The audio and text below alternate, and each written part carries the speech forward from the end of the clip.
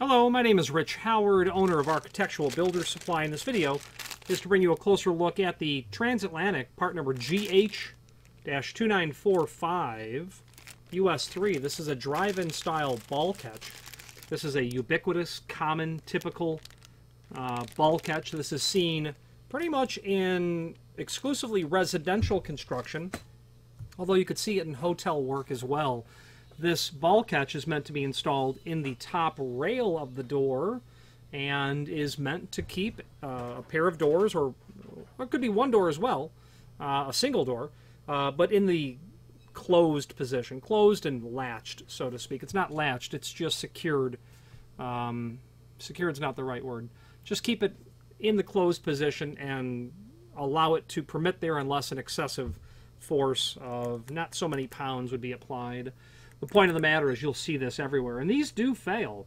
Um, they do, the spring inside of here does seem to fatigue or fail with time, or people manipulate the uh, adjustment here to affect the projection of the ball to such a point where maybe the spring comes out and they've lost a part.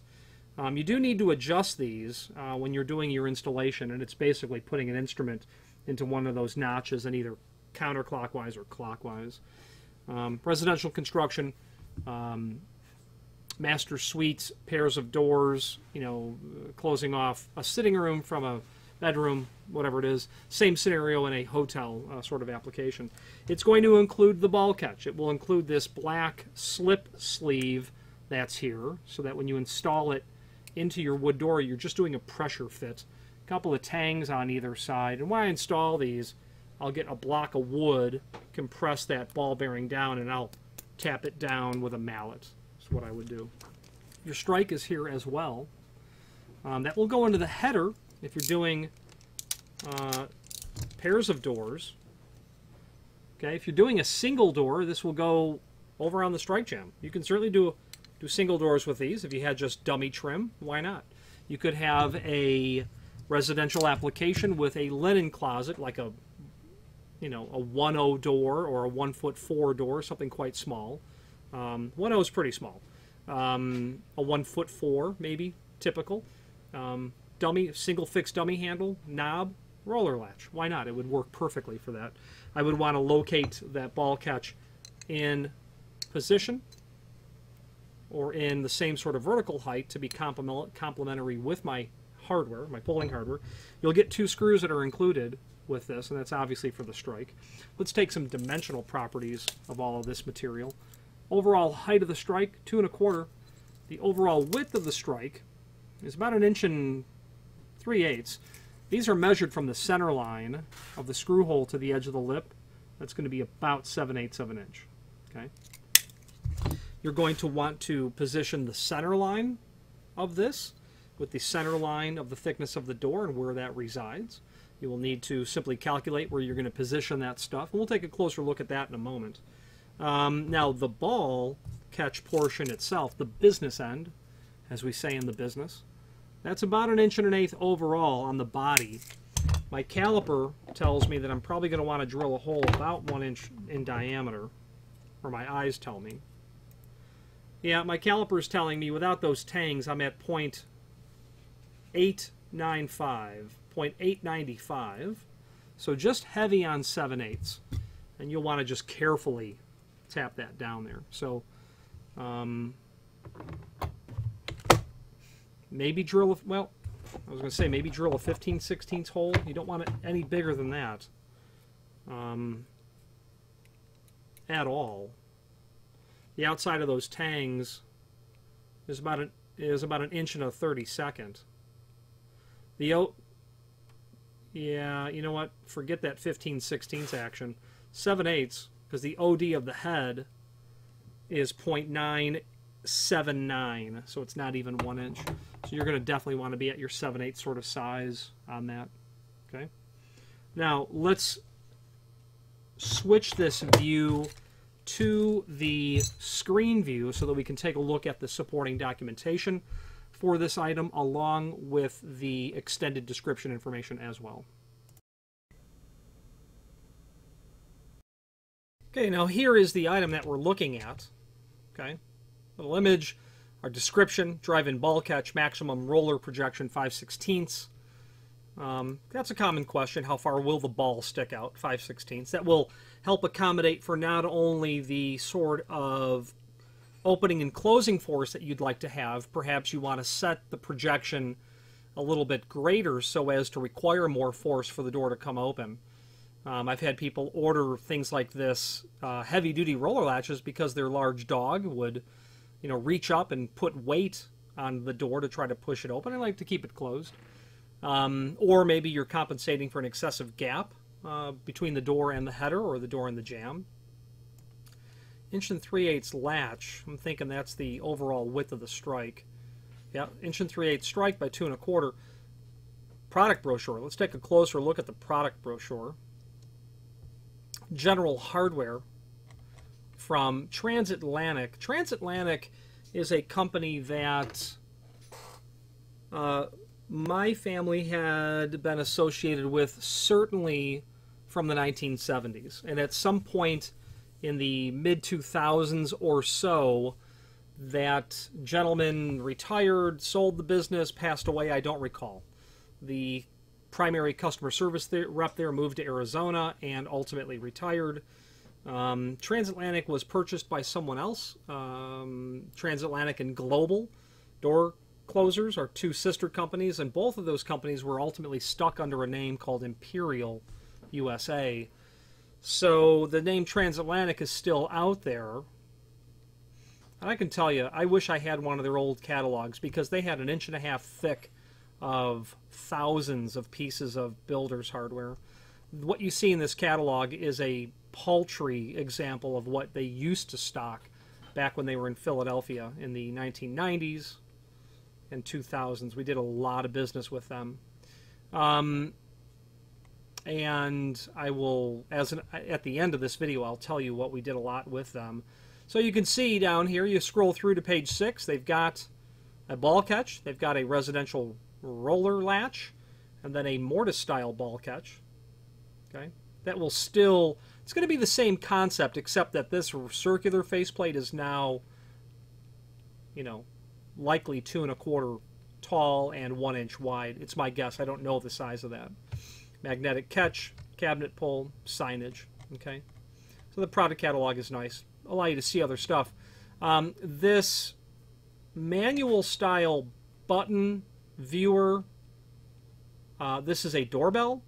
This is a door viewer and a nameplate. Uh, we sell a couple of those a year, and they are neat because this is a mechanical doorbell. And mechanical doorbells certainly existed in the 19th century, and they still make this one, and it's well made too. Um, I'm thinking New York City apartments. You're going to have a lot of these. Is where I'm thinking these are going to come from. I don't know who manufactured them originally. It was probably a company like Corbin or Yale or some door hardware manufacturer from New England. I haven't run across that in an archival catalog from any of those, you know, usual suspects, so to speak. Okay. Now, let's see if we can round up some installation instructions. Now, we have been able to come up with some installation instructions. Um, and, you know, what's really most critical is that you observe your, obviously your horizontal center line as seen here. Okay. But the vertical center line needs to be observed as well. And how you get there is, in, you know, in all fairness, is how you get there. Um, you know, you can take the door thickness, divide it in half, and then take the margin between the edge or the face of the stop and where the door resides. And what I mean by that is you could, oops, um, you have your frame and your stop. Just say it's single rabbet. Let's say that your door sits in here you're going to take your door thickness, divide that in half. You're going to add the dimension from here to here. Okay, then you're going to have a reference point. So half of the door thickness plus this dimension is where you're going to place that center line on your jamb. But these installation instructions, they give a lot of steps on how to install these. So the height um, Step 5. Mark center mark outline of the strike and the center of the screw holes with a pen. Never use a pencil. Um, mortise this area on the frame 1 16th deep or until the strike sits flush. See frame prep picture below for more details on properly prepping, drill, attach strike. Okay, so it's the notes that we're really dealing with here. Dimension Y is one half of the door thickness plus eighth of an inch. So what they're what they're concluding is that this dimension is an eighth of an inch. It could be. I'd say it's going to be a little bit less, but I'm also going to say it probably doesn't matter when we're dealing with a 30th, a 30, you know, a 30th of an inch. Um, gap between door and frame should be at least an eighth. It will be about that, maybe a little, little less. An eighth is 0.125. It might be 100 thousandths or 95 thousandths. If mounting on top style of door and frame head, place center line of the catch two and a half inch back from the lock edge of the door. So what they're saying there is if you have a pair of doors,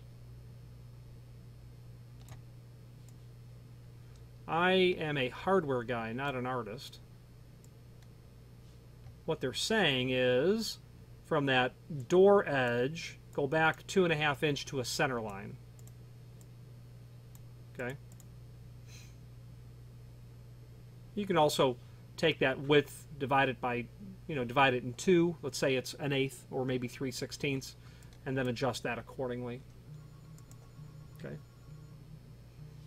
So there you go. Your your overall height that'll be up obviously to, for you to decide where you're gonna where you're gonna put that if you are installing this new into an existing application, maybe take an audit of those other locations of where you need to um, install hardware at and then put it at the proper height to match everything.